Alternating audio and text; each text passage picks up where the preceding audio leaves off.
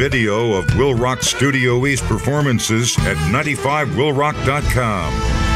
Powered by the U.S. Army. They're strong, and then there's Army Strong. Learn more about the U.S. Army at goarmy.com. Now, let's go live to the 95 Will Rock Studio East. What's going on? I'm Stino, and I have Shim with me today. Hello. Hello, Stino. How are you? Good. How are you? Good. Thanks for coming in. Thank you for having me, and thank you for the Burger King fries. Yeah. I'm gonna I'm gonna do product placement right now. She said not to give them advertising, but I got world's worst hangover, and I needed some Burger King fries. I'm glad that I could help you out on Thank that. Thank you. How have you been since the last time I saw you? Uh, the last time I saw you actually was in Fort Myers. Uh, like probably about four or five years ago. Really? Yeah, you were with the sick puppies. I think tripolar. I was with who? Yeah. I think tripolar just came out, but regardless, I'm just happy to see you. Okay. Me too. Thank I don't need any more of those puppies. Thank you for having me back. Seriously, sure. thank you. Thank you. Um, so listen to this. One thing that uh, you know, you're at the beginning of this, being a solo artist and whatnot. Mm-hmm. So how has that journey like been for you since you decided to go off on your own? Really weird. Really weird. No, I'm serious. Like, I didn't want to. I've, I've said it in every time someone asks me. I didn't want to be a solo artist. I, I really did not have. I, like, the band didn't split. And I, that's the thing. You can ask me whatever you want about the band. Like, I, I know a lot of people say, "Oh, I don't want to talk about it." It's my band. Like, I did that thing for a long time and had a lot of good songs with them. And there's a lot of fans that I think deserve, you know, some transparency. But I never wanted to do a solo thing. I know how to be in a band. I like. I don't like being by myself. I'm a little bitch about it. And but finally, I was like, I'd, I'd done this. The Sick Puppies had split. I tried to do a couple of other things. And eventually, it was like two years later, and I hadn't put out any music. And I'm like, I got to get something going on. And I and the only the solo project was a choice that was made due to a lack of other options. Because I was like, if I don't do it myself, I'm, I'm not going to put anything out. So I was like, I'm not going to take that record deal's crappy offer. I'm not going to take this crappy manager. I'm just going to do it myself until the right things come up. And so I'm doing it. And you're doing a fantastic job. Um, I was reading an article about an interview that you were doing, and they basically said in the interview, they're like, "So, are you going to play some Sick Puppy songs?" And you're like, "You mean my songs?" Yeah. and I was like, "That was such a great answer well, for that." It's true. I mean, who? Uh, well, yeah, like I mean, my thing is like if I go and see the singer of one of my favorite bands and he doesn't play any of the songs that I know, I'm gonna be pissed. I I'd be- get it. Yeah, I'd be upset. So like, yeah, I, I mean, I'll, I'll I'll play salsa music if that's what they want to hear. I don't care. I'm, um, if someone, the truth is, I think that a lot of bands start to lose perspective. I know the puppies did when we when we were in the bubble of touring. Um, that you forget how hard people actually have to work a day job at minimum wage, pay taxes, pay their rent, pay for their kids, whatever they got to do, and a little bit of money they get left over, they pay for a ticket to your show. And then you're not going to play the songs they want to hear. Give me a break. Like it's a bit indulgent. yeah, I totally get that. Yeah. Well, speaking about playing songs, you got a guitar right behind you there. So, speaking of which, uh, we'll start with the puppy song, eh? okay. All right, so this is a puppy song that comes with a little story, if that's okay, because um we uh let me just get this right. During Tripolar, we went to a uh, a veterans hospital, right? And we went in. I had my guitar and stuff, and uh, but most of the people that were there, they wanted to, you know, get pictures and talk and stuff. And uh, eventually, just towards the end, we went to this one room. There was one guy in a bed, and he had. Well, why am I feeding back? You can turn me down, mate. You can turn me down. I'm telling my story. I'm telling my story. You broke the cycle. Here we go. Ready? We're good. I got me. Thank you. There's this one guy in this bed. Uh, cables coming all out of him, and his mother was sitting there next to him knitting. And uh, half of his head was missing. It had been blown off in Afghanistan.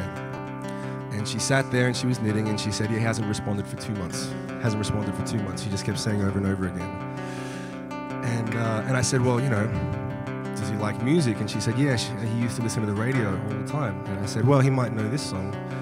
But the problem was that all the people down the hall were getting ready to go to bed. So I had to figure out how to play this song as quietly as I could. So I just sat there, and stared at the floor, stared at my guitar, and just tried to make it up on the spot so I could create some type of connection with this guy. And it sounded sounded like this.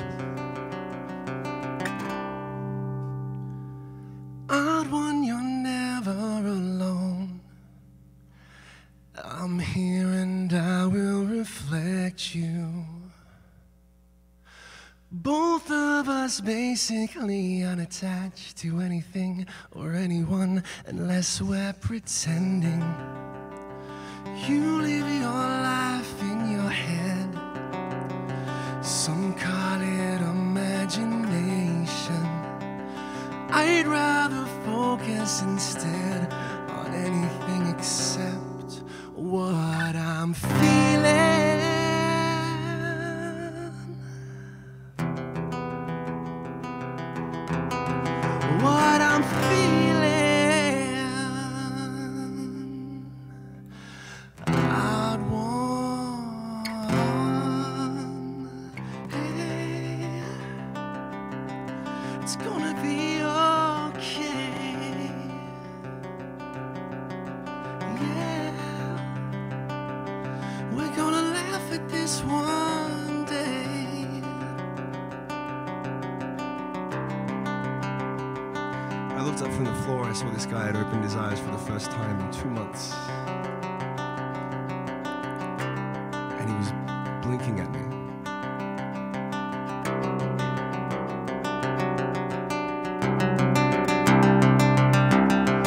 I'd one, I wish I was you.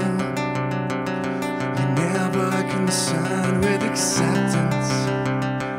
We are all desperately seeking out and fitting in with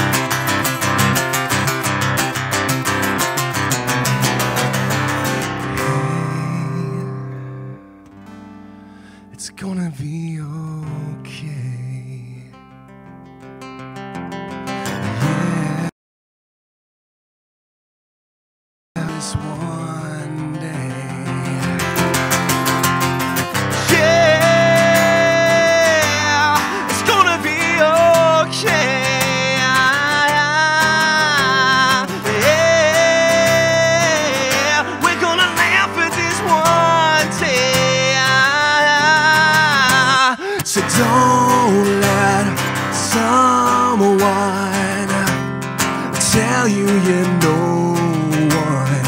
Don't let someone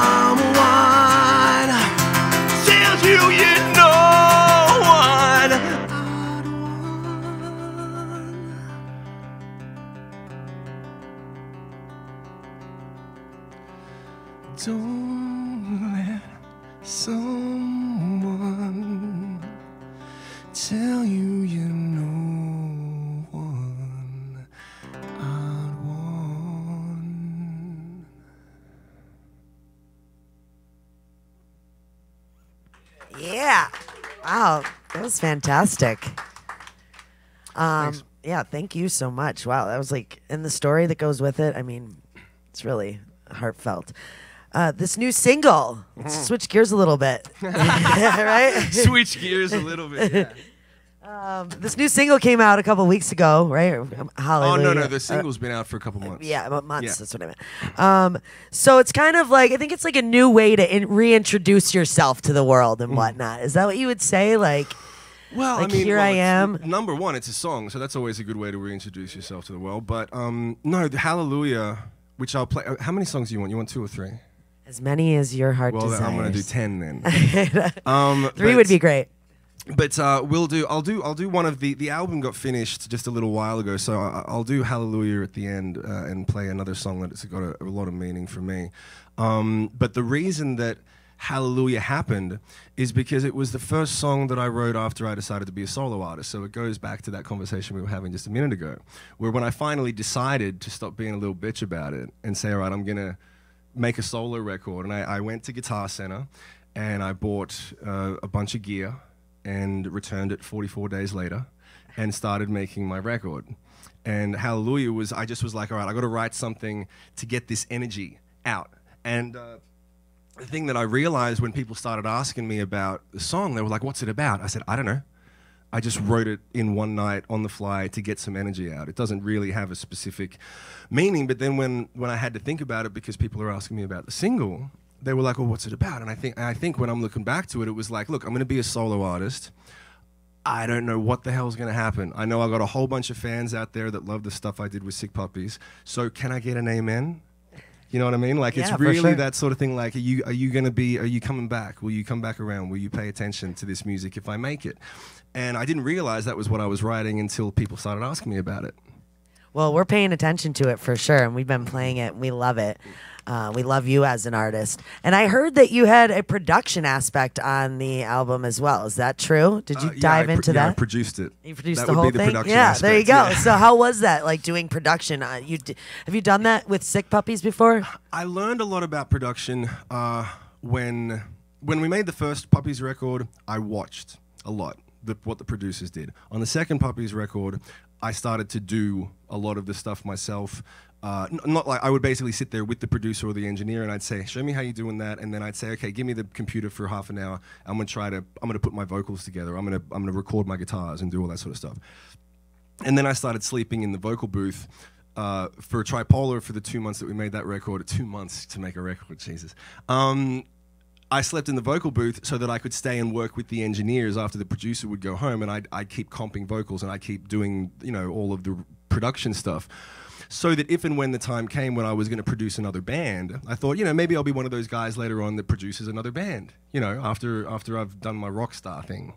And I didn't think I was going to produce myself, but it got to the point where having those tools actually was very beneficial because I was able to finish my music instead of having to go to people. Because the reason, like I said, I went to a few people to work, and, and the, the circumstances were bad. So I said, Well, I don't, I don't tolerate bad circumstances anymore in my life. So I'm not going to work with you. And now what do I do? I got to do it myself. It's the best way to get things done. Getting Yeah. things done on your own, right? you want to play another song for us? I do, I do. Let me just tune this up real quick. You want to? You can riff for a second while I try to get this thing in tune. Are we live? We are live. so I'm wasting time. It's okay. No worries about. this.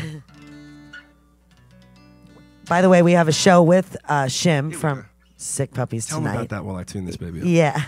Uh, at Casey's Cabin. We'll be there with Pop Evil. It's an acoustic night tonight. So if you want to check out, obviously, we're having an acoustic session right here, but uh, you can check out Shim and Pop Evil tonight at Casey's Cabin. It's going to be a good time. I'll definitely be there. I'm doing my show live from there, so maybe you can join me during some of my show later on today, too, and hang out. I think we need to do as much together today as humanly Yes, possible. let's I do actually, it. I'm, I think I'm going to try to. I may. I may try to work out a cover today because you guys have asked me to play a lot, a lot of songs tonight. Yeah. And I was. Do you know that that Chris Cornell cover of um, Billie Jean? I do. I think I'm going to try to pull that out. That'd be awesome. I think I'm going to try to. I'm going to see if I can even sing it, and then if I can sing it, I'll, I'll, I'll see if I can do that tonight. I do a segment on my show called Under the Covers, so Mm-hmm. I play a cover song every day. So I could totally use that. Okay, we're gonna record. We'll record it, and then I'll- I'll get it to you. Okay, cool. So this next one, this is a song off my record that's coming out. Ooh, September 14. It's coming out September 14. We just announced the actual date. Thank. Yeah, yeah. Clap. We got. Yeah, clap. Awesome. Yeah. Uh, long time in the making, and when I was halfway through making this record, I had a version of the record. Uh, it's not the version that's going to be released on September 14. And I listened to the record from top to bottom and I said, I feel like it's missing a song. And I thought about it and I thought, it, it's missing that song that's like every band has a song that is just a great song regardless of circumstances, topic, genre. You know, uh, Green Day's got Good Riddance. Goo Goo Dolls had Iris. These songs that you just go, oh, it's one of those songs, right? And I was like, oh man, I wish I could, but maybe maybe in 10 years I'll be able to have enough experience and knowledge to write one of those songs. And in the moment that I said that, I just heard this song in my head. And it was really, uh, it was one of these songs that was kind of given to me because I didn't, it was like, it was like a little song angel came and sat down next to me and, and said, here's the puzzle, and there's the picture of the puzzle right above it. Just put it together and all the pieces are right there. And it's this song that was so clearly for everyone to listen to. Had not, it doesn't have anything to do with me. It's a song that they were like, people need to hear this song for some reason. So do you want to be the guy that sings it? And I was like, yes, please. Yes, please. I dig it. So this is a song called Fearless.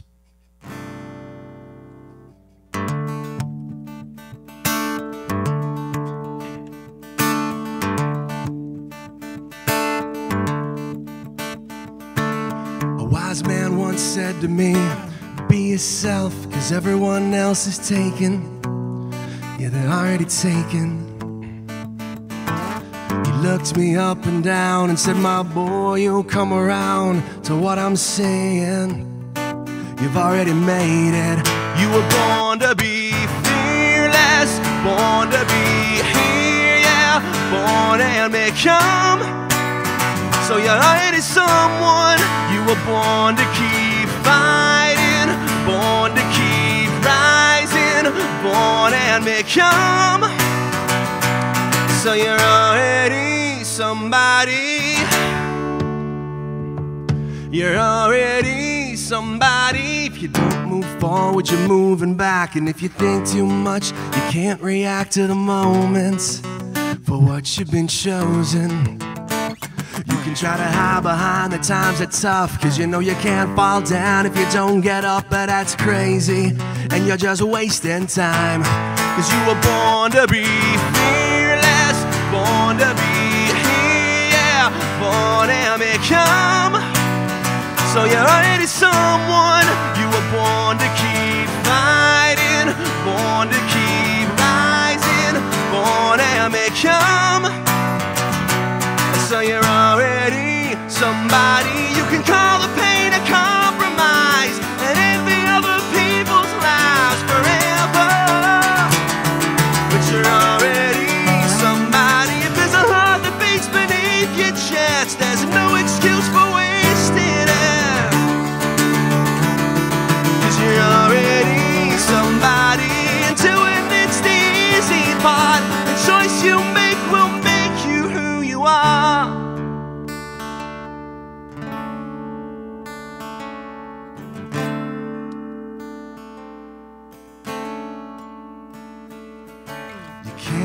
complain that the odds are stacked or blame the world for where you're at.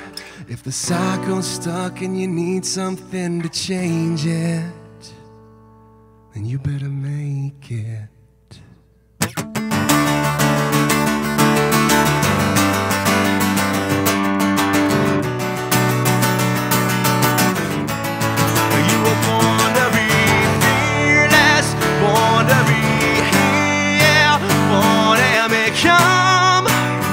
So you're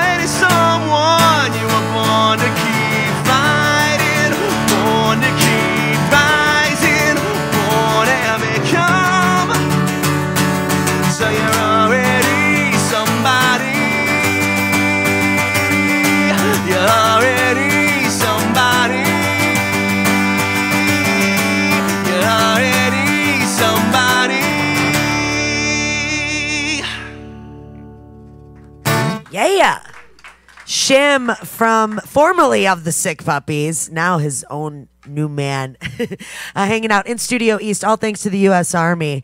And uh, I am Stino. I've got a question for you. What is this this thing on the microphone here? This Oh, little yeah, yeah, yeah, right. So looks like a sock puppet. This is actually for you guys. This is your new station, Lil Shim. Okay. so I love it. Can I see it? Yeah, ready? Did It goes flying. He's good for all sorts It of party does say tricks. Lil Shim on there. and uh, yeah, you're gonna you're, you're you're gonna have a good time with him. Oh you, my you hang him off your mic stand. yes. You can do videos with him. You can do whatever you need. But yeah, he's your new. And, and I want you to understand, there's a camera hidden in those eyes. I'm gonna be watching you. He's coming to the show tonight, so Yeah. he'll be with me rocking out. Yeah. That's that's what I'm gonna do. So that's your. That's I your love it. Thank one. you so much. Thank you, thank you. Like I'm telling you, man. Thanks for playing the music. Of course. I, oh wait a minute, that's what I need. Oh sugar. What? I need someone to grab my guitar case. Because I got Oh, a capo in there that I need for the It- last I, song. I It's will. totally it's right in there in that room there. Cool. Um, there. I have another question for you. Please, let's do I- the questions. I heard about you maybe dabbling into acting. Well, uh, dabbling, I'm not sure if dabbling is the right word. Uh, I actually started out acting when I was a kid. Okay. So the first the first round of band equipment, the first bass amp, bass guitar, regular guitar drum set was I, I bought from money that I made doing uh, film and TV in Australia. Okay. So I was actually raised in the back of theaters when I was a kid. Um, so I learned about acting before. I learned about acting at the same time that I learned the English language. So it was like a second language to me. So that thing where, like, you know, Robert De Niro and Al Pacino, when they talk about this method acting thing, Yeah. there's a whole language of how that stuff works that I learned just because that's where I would go after school. That's where my parents would be because that's where they work. And, and so I'd learn about script analysis and character breakdown and the psychology of objectives and all this stuff. So then when it came time for like, oh, I'm, I'm 12, I think I'm going to start acting. So I started, and I got into film and TV stuff, and was making serious bank for a 12 year old kid. Like, I mean, like, like enough money to be able to buy an, like, not like you know house money, Yeah. but gear money. I could buy an amp, I could buy like a, a guitar and Emma's bass amp, and you know all that stuff, and then fund the first uh, two rounds of demos that got us a record deal, and just kept f- just throwing all the money. You know, I pretty much I threw all my money into the band for about 10 years. You know, so that was what really kind of funded the whole thing. And then once the band started moving, I started, you know, fo- I've obviously focused on, the, was able to say, okay, cool, now that we're moving, I'm gonna just switch. Like the plan was always to put down acting for a while and get into music. And then if the music thing didn't work out, go back to acting. So far, it's been doing okay. Always good to have a backup plan. Yeah, right? yeah. But um, that's so. I, I mean, I did a, I did a little movie called The Day that was like uh, the people who produced my records did a couple of movies, and so I was like, "Hey, can I be in your movie?" And they went, "Yeah, sure." So I went and killed someone in their movie. Oh, that's cool. I'm gonna have to check that out. Yeah, check out. Uh, s- now, speaking of bands, we are obviously. Do you have a band that you tour with when when you tour solo here? My band is the bomb. Okay, I have got the baddest band in rock and roll. Yeah? right now, I'm telling you. I cherry picked all these guys from uh, L.A. I basically went around to gigs and just watched players. And I kind of did the Dave Grohl thing when he was putting Foo Fighters together. He just saw a band and was like, I "That's need my that rhythm guy." section." Yeah. Yeah. And I had a really specific idea of what I wanted because I knew what my record sounded like, and I also knew what I wanted the show to be like. And it had to be a significant evolution from Sick Puppies. There was a lot of stuff that I always wanted to do in the show for Sick Puppies that I couldn't do because we didn't have a second guitar player or whatever, and all that sort of stuff. So I was like, well, I'm gonna, I, I, it's my show now. I'm gonna get a second guitar player, and he's gonna cover all of the solos that I've played on the record because I don't want to deal with that. I'm not, I'm not proud. I, I had, I have to practice my solos a lot to get to that point. And so I was like, you, you just play them. I don't want to keep practicing. I'm gonna play the chords. I'm gonna Billie Joe my way through the whole set, and then I just want to run the crowd and do that sort of stuff. But the band that I picked was specifically to support the type of show that I want to do, because every show comes with a money back guarantee, which I think is important for people to know every shim show comes with a money back guarantee. Because if you don't feel better on the way out than you do on the way in you really should get your money back. It goes back to that thing i was saying when people are paying real hard earned money to come to this show if they if i come to your house and fix your toilet and it breaks the next day you're going to ask for your money back Yeah. right? So if you have heard my songs and you go go to all the trouble to get dressed up and get pretty and come out to the show and then i suck yeah, you can get your money back, but I know that ain't, ain't going to happen. So you can have the guarantee because it's hopefully it's going to help you get in the door. yeah, awesome. Well, um, I'll hold you to it tonight. yeah, it will. It will. um, you want to play a la- one last song for us? I do. I do. Can you? Why don't you tell them about the show while I just tune this thing up real quick? Sure. Yeah. Tonight, make sure you're out at Casey's Cabin in Spring Grove. We've got Shim, formerly of the Sick Puppies, now doing his own thing, along with Pop Evil. An acoustic evening. It's going to be fantastic. There are tickets still available. You can go uh, to Casey's Cabin and just knock on the door there, basically. All right. There's only a, a, a lim- a limited amount of tickets left, but there still are some spots. Uh, it's going to be a rockin' night tonight. I'm going to be doing my show live from there from 3 to 6 today as well. I think the doors are at 6 o'clock. Uh, am I right, Eddie? Yes, yes. You about out of stuff to talk about now? Yeah, I there think we go. out. Yeah, I can feel you winding it down. All right, so I'm going to try to sing this. I tell you, the last thing I'll say about this song, it's a real hard song to sing. Every song that I've ever released as my first single, I don't know why, but it winds up being the hardest song that I've ever had to sing. You're Going Down was off Tripolar. That's, that's a hard song to sing. But then eventually, they were like, hey, well, that's going to be your first single. So you better learn how to sing it every single night. Like you do it on the record, you get a million chances to get it right. You do it live, you get one. So I was like, I, then you have to be. But the beautiful thing is that then you have to become the singer that can do it. So you have to become better. And then the same thing with the last Puppies record, and now the same thing with this one, where I didn't think about it until I'd released the song, and I was like, oh my god, I got to become the singer that can sing this every day. It sounds like a lot of energy is needed. And on top of it, I'm hungover. you look great. I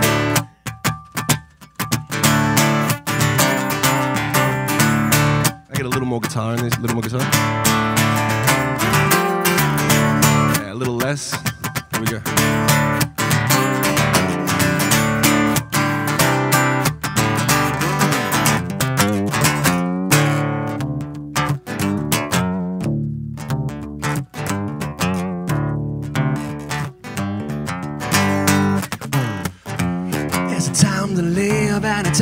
Die.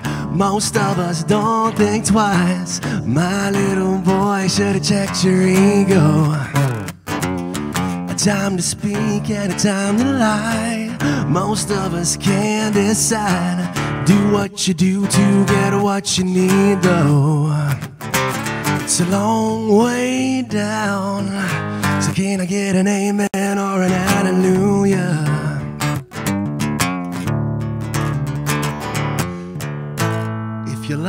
Lost or found, can I get an amen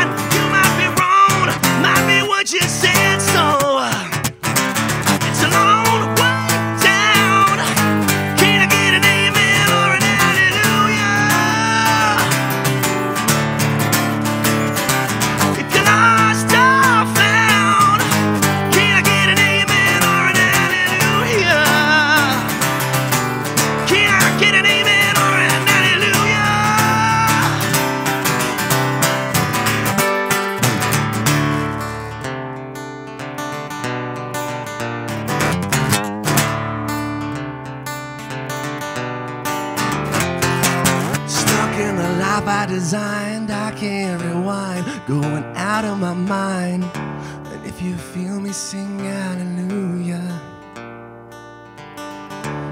If you feel me just sing it one more time on the memory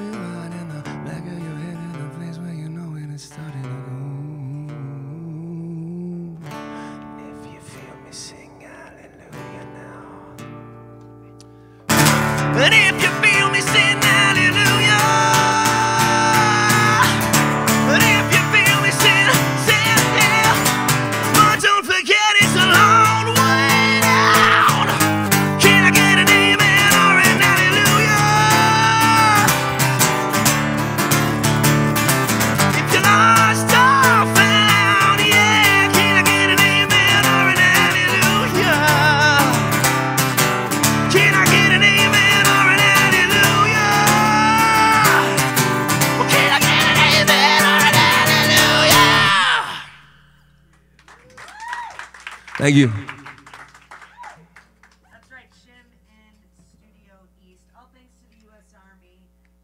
GoArmy.com. I am Stino. Thank you so much for coming in and hanging out with us today. Thank you for having me. Thank I- you for having me on the show tonight too. It's gonna be real fun. yeah, for sure. We're going to be hanging out all day, so you're stuck with me. Okay. Stuck in Stino's world, but we'll have fun. We're going to be at Casey's Cabin later on today. Good times with 95 Will Rock.